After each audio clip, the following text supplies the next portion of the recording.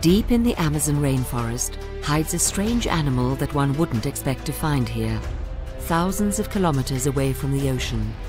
A freshwater dolphin with an unusual color and one of the most mysterious species of the animal kingdom.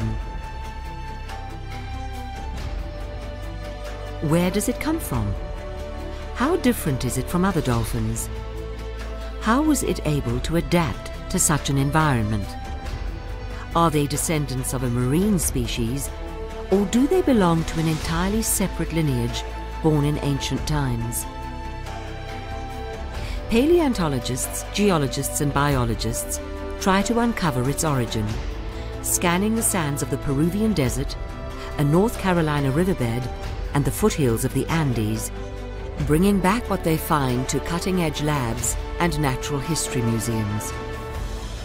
They tell us the story of an amazing adaptation spanning over 25 million years of evolution.